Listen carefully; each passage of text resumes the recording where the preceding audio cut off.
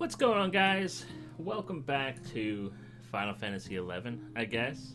Uh, it's been fascinating to see everybody talk about Bismarck and the history that this game has, uh, and its meaning for everybody. It's kind of incredible. So, if a lot of you guys are coming back to the game, uh, there's a lot that has changed and a lot that hasn't changed. And I thought, since we're already starting to see a lot of people ask, I would cover a lot of the software issues within the game that you're going to have to tackle. So, if you're running just standard native Final Fantasy XI and you don't and you're fine with that, that's great. Play the game, have all of the fun that you want. But if you want to download Windower, then you're going to have to kind of deal with uh, some kind of goofy stuff that's occurring. I'll pull this in here. So, Windower 4 uh, came around, I think it came around about a year ago. This added something new to Windower, which kind of caused a whole bunch of chaos. Um, it added scripting, so Lua scripting, and so whereas everything before was run by plugins, and that was just kind of how it went. Now you have all of these Lua add-ons, and that makes things a little bit more complicated because uh, the game itself is it's kind of interesting. The FFXIclopedia isn't com- totally complete and the way that it's not complete is often covered by the BlueGartr wiki. But these two products alone do not give you a full representation of the game. There's still going to be a lot of stuff that isn't covered, a lot of stuff that doesn't make any sense. And so, this is kind of the way it is for this entire game. There are part portions of it where there's just no explanation for anything, and there probably never will be. And that's kind of the game that you're coming into right now. Everything's kind of all over the place at the moment. So, download Windower 4, and the thing that you're going to see inside of Windower 4 is this window when you open it up. You're going to have to attach it to your uh, wherever your folder is for Final Fantasy 11. Now, the first thing you want to do is go in here and set for your max resolution. You probably want a borderless window if your computer can handle all of that. Um, all of this stuff is going to be pretty self explanatory. Uh, this bump mapping thing, you want this to actually be off because there's something that we're going to do here in a second that uh, you want it to be off for a specific reason. And so this is how I have it set up. You don't have to set it up that way. Now, the first thing that I did is I went to the old plugins. Now, Chatmon, this says you've just received a tell. You've just been examined. It sends notifications that you've just that an event has occurred, and they're pretty noticeable, and they ignore the volume that the game is set at. So if you're kind of AFK waiting for something and you're you maybe have to go to the restroom, you have to do something, it will send a notification that you will hear, and that's great. So then there's config. Now config is amazing, mostly because it unlocks the game's frames per second, and so essentially you're going to install this and nothing's going to happen, and that's fine. Now if you go to the folder where your Windower plugins are, and you go into the settings folder, you're going to see this config.xml, and you want to open that with uh, Notepad or Notepad++, whatever it is that you have. Inside of that folder, you're going to see this little, this text, just saying, you know, figure out what the aspect ratio is, okay, because that's going to be dictated by the Windower. Um, you want this to be probably 1.333 uh, for a reason that we'll get to in a second.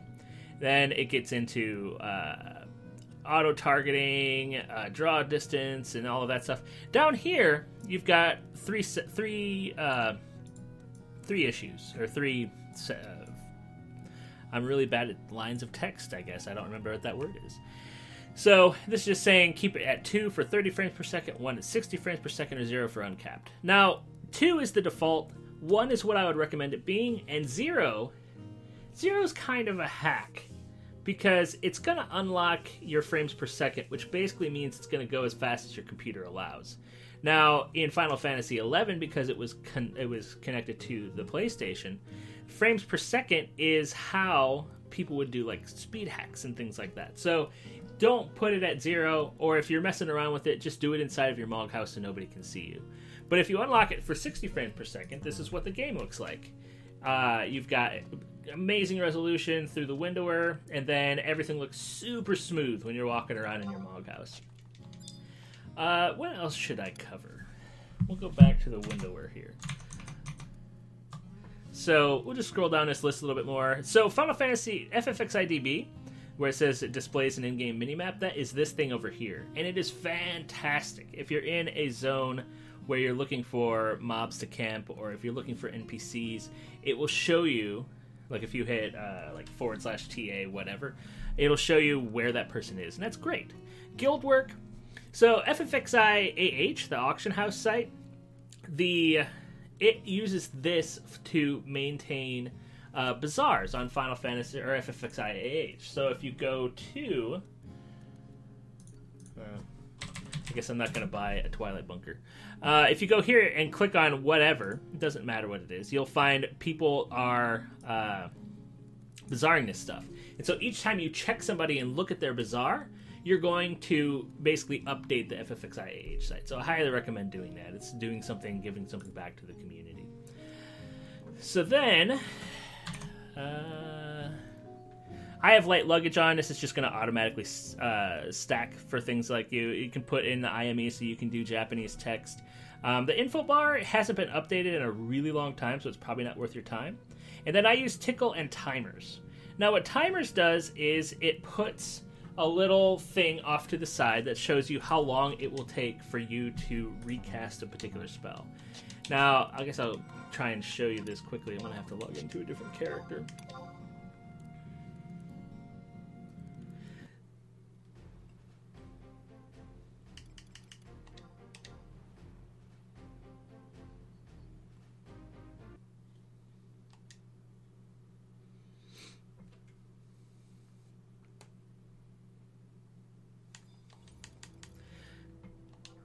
So you're logged into a character. Maybe you're going to go out and you're going to do some sort of XPing, or you're gonna you're actually doing XP areas. You, so this is what the timers does. It puts this little bar over here on the side that says how long do you have until you can cast that spell again. And so it counts down while this bar fills up. And when the bar fills up, your spell is you can recast it again. It's pretty useful, honestly. And uh, so I think that's pretty much it for what I use. Then we go into adding add-ons.